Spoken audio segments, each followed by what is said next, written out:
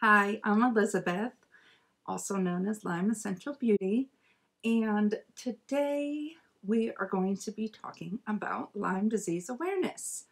I don't know if you were able to tell with any of the clues going on on my face here or in the thumbnail, but May 1st is the beginning of Lyme Disease Awareness Month. This month is so important to me. It holds a very special place in my life. Almost five years ago, I was diagnosed with Lyme disease. And so this month is vital to spreading awareness for this disease. Awareness for Lyme disease matters so much because there is no cure for Lyme disease. And many, many people who suffer from this disease also don't get a lot of help for their symptoms. And to obtain the proper medical care, to get the proper medical diagnosis is so insanely difficult. And the only thing right now that can make that difference is awareness, making yourself aware, making people around you aware, making people in the healthcare profession aware, making your senators aware, making the CDC aware, making everyone aware so that they cannot keep ignoring this disease and the devastating effects that it has on so many people, including myself. And so for this month, I'm going to be doing different looks, but I wanted to start it off very obvious. This is the Lyme disease ribbon, Lyme with the Y. And also I did a green eye look on this side. I will just be chatting with you about Lyme disease, my experience with it, and of course other random things while I create this look.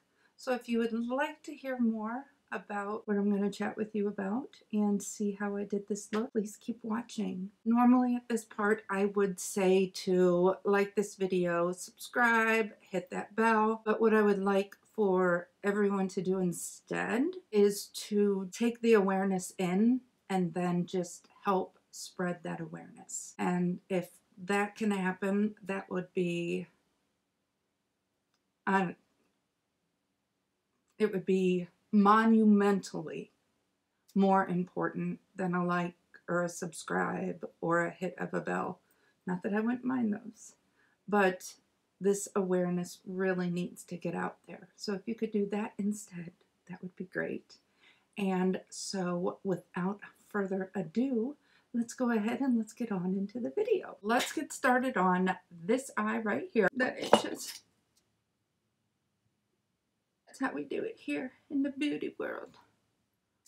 We just itchy, itchy, itchy with a brush. I'm gonna zoom in. Let's do the eye. I already put on my base. I used the MAC Painterly Paint Pot. I'm gonna start with the Morphe James Charles palette. It's got all kinds of colors, but obviously I'm gonna be focusing on these greens but it also has a lot of nice neutrals that I can use for my transition shade. Oh, I also may use, I just got in the mail, this is the Melt Smoke Sessions palette. Oh, it is so pretty.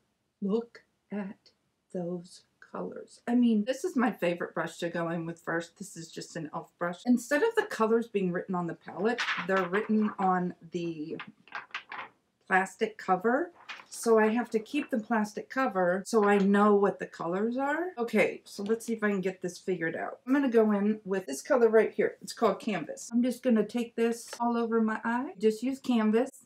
Can't tell, which is nice. I want it to be close to my eye color so that it just creates a nice, smooth canvas. Get it?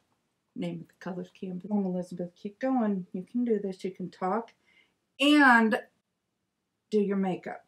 Okay, transition shade. Next color we will be going into with my fancy color grid is Tune. Tune? Let's go for it. That looks super duper yellow. And it's not, you know what? It's this color right here. I'm going to just swatch it on the back of my hand so that you can see what it actually looks like. There we go. It's messing. It's messing with me. Enough of this stuff. Enough. Just put it on your dang eye. It's pretty. It's like a yellowy orangey color. Wonder if we can see it when we put it on the eye, which would have been a lot smarter of an idea. I brought my eyebrow out today. See, it goes out more so that I have more space to put my eye makeup. All of this right here took me a minute. And by a minute, I mean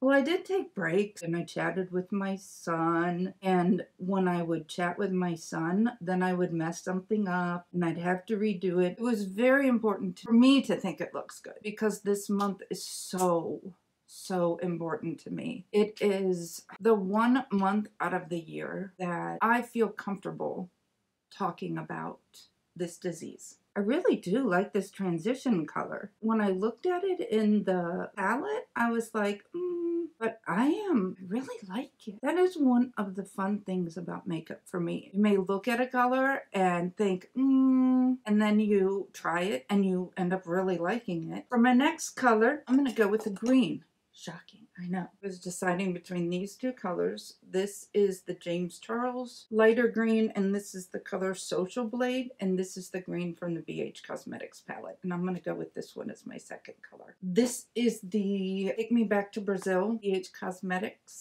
palette, and it is one of my absolute favorite palettes. And if I'm looking at brushes instead of you, rude. Let me pick out my brush and then I'll keep talking to you. Got it. This is up my alley. This is a no-name brush.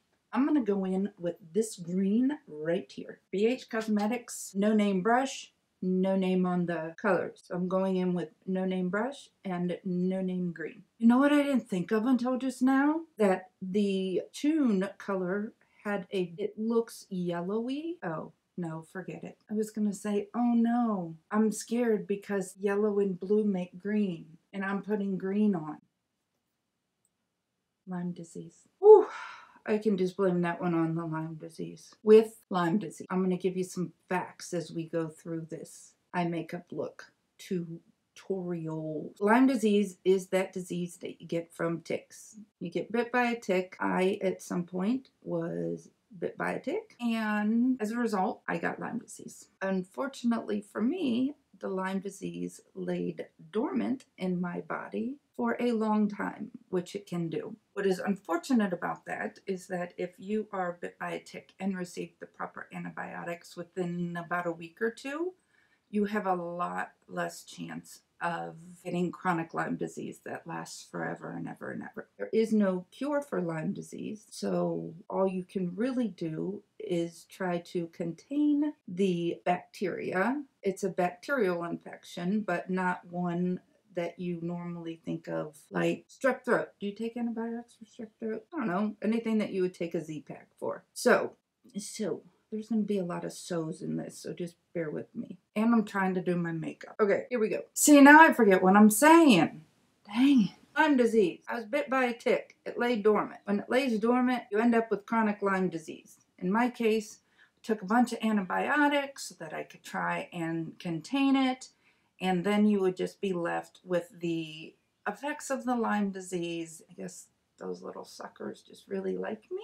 I'm just like spewing out stuff that has no connection to each other at all. I should just write stuff on my face that I'm gonna do and talk about during the videos so that I don't forget. The crazy thing about Lyme disease is it is, they call it a great imitator, and it is called that. I'm going back to that transition shade for a second.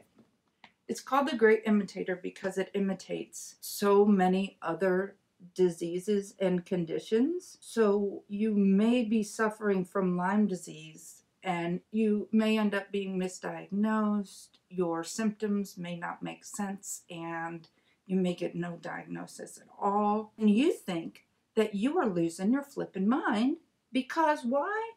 Because you know there's something wrong, but nobody can give you an answer, and everybody else thinks that you're flipping crazy. So you're like, hmm, must be crazy too.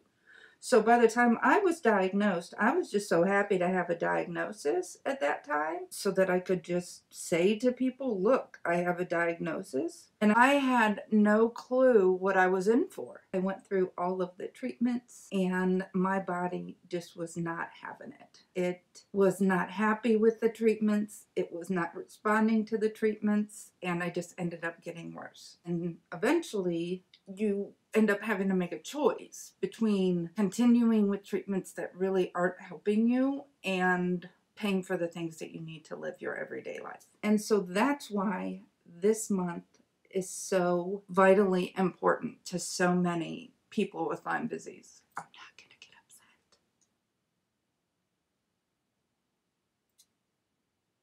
upset. Awareness is so important with the awareness comes understanding. And as more people become aware, as more people speak out, different things start to happen. It is the biggest epidemic in the United States right now. The CDC estimates 300,000 new cases of Lyme disease a year. And I would not wish this on anyone. Sorry. So for this month, I can share with people my experiences, my emotions from it, and feel comfortable doing it. And I just hope that maybe by doing this and putting it out there and putting my story and my twist on things and my way of bringing awareness through what I love in makeup, if that can help just one iota in this fight, then it's worth it. Because every day when you have this disease, you fight. You fight or you quit. And quitting is not an option for me, especially after five flipping years.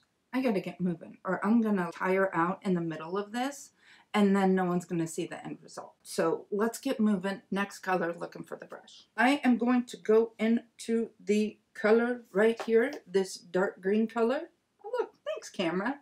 It's called Daddy. This is the green that I have outlined. Just start building this up in my crease. And I am just kind of picking the colors as I go. I don't really have a big plan. Actually, I had it all figured out on my hands and then I washed my hands and everything that I had figured out went poof. So it all got washed down the drain with all the colors because I like to swatch on my hands the colors that I may use and then I'll put them next to each other to see what I like to do and to see what may look good. And so that is what I did. I had a plan, washed my hands, so we're just gonna kind of wing it. Can bite ya. When you hear people talking about being tired, as in they have to rest after taking a shower and taking a shower, washing your hair, and shaving your legs, oh, you might as well forget the rest of the day. Whatever you were shaving your legs for, you now do not have the energy to do it. Even if it's just wearing shorts. Nope, you're in your PJs back in bed because you are busted out the house tired. Now we're going to come in on the eyeball a little bit here. It's not your eyeball, it's your eyelid. I always call it the eyeball for some reason. I'm actually really kind of digging this look. I'm not quite sure, actually, what I really want to do from here. If I just want to darken it up a bit and then just go in with the cut crease. Or if I just want to go for the... Oops. If I just want to go for the cut crease and then darken after. then I am actually going to go in with an even darker green crease brush. Really enjoy it for those small areas. I'm going to go into the Smoke Sessions palette and this is called Space Queen. I'm just using this on the outer portion of my actual eyelid right here. I'm not going to pull it all the way out. I just really want to concentrate it on this area right here. I think I'm going to deepen it up a little and just add some sparkle. That's what I'm going to do. Okay, we're going to deepen it up. Man, is this a pretty palette. We have, I believe this blended out to my liking. Hank and Henry, one of my favorite makeup brands. An indie brand, Hank and Henry Beauty. I'll leave that link down below too. These are the My Alter Ego eye kits. Two different colors. This will be a matte. This will be a pressed pearl. And in the bottom, this is called Madam Benjamin and matte pressed pearl. And then in the bottom, you have these amazing, beautiful glitters. So what I'm to do, this is called Killjoy. We're to go in with Tumultuous, which is this right here. This is a luster veil and a highlighter. In fact, I have this highlighter right here on my face. And then here we go. Now we are to use it on our lids. I'm to take this brush. This is a Chanel brush, the only Chanel brush I own. We're to use this, pat it all over the lid. I think I'm actually to go in with my finger a little bit. You can see with the hooded eye where there will be some transfer if you look up. See where it transfers onto my other part of my eye? That's where the hooded eye part comes from. And so one thing that you can do if you don't want to have the transfer problem like that, take your color with your brush and just apply your color kind of where that transfer goes and then it looks intentional and then you don't have to worry about the color and what it looks like when it transfers. This is the My Alter Ego Eye Kit in Madam Benjamin. And Madam Benjamin is the luster light at the very bottom, and that's what I want to use. I have it on my finger. I'm going to want to put it on this part of my eye. I want to wet this part of my eye, but I don't really want to wet this, just have it stick. So we're going to do this, watch. We're going to spray our eye because it, tastes horrible. Now we're going to use, oh, dang. Now we're just going to use that kind of wettish part to put on the Madam Benjamin. Now, you may think, oh, it all looks kind of very similar and all that jazz. There's a way that if you are thinking that about your makeup, that is a really cool quick, easy fix. One thing that you can do to break things up a little bit, I am going to go back into that tumultuous and I'm going to just put that right in the center of my eye. And if it's not working as quickly as I would like, I will take a very small flat brush and I will go in, grab some on the brush and just put it right in the center where I want it. Very subtle, very little, breaks everything up. I'm liking the look. I just want to do a little bit with the under eye, not a lot because I have the lime written down the side of my face. I am going to take the original color tone that we used as the transition shade and then I'm just going to try and blend this out a little bit and then I'm going to go in with the brush that had the lighter greens on it. Now what I think I'm going to do. So I'm going to go in and again use the tumultuous for this part under the brow and then I'm to go ahead and just go right here. So what I'm to do now, I am to go ahead and jump off camera. I'm to line my eyes. I'm to put my lashes on, probably put some gloss on because my lips are feeling a little dry and then I'll be right back. All right, I'm back. I finished up everything and I just wanted to thank you guys so much for joining me in this video. The videos for this month are going to be very, very meaningful to me, so I really appreciate you watching, for listening to me, and if you could just do me a big, huge favor, if you could just take this awareness to heart and realize that this disease is out there, that there are so many hundreds of thousands of people fighting this fight every day. And if you could help to make one other person aware, that would be beyond magnificent. Again, I just want to thank you so much. And until the next one, I'll see you then.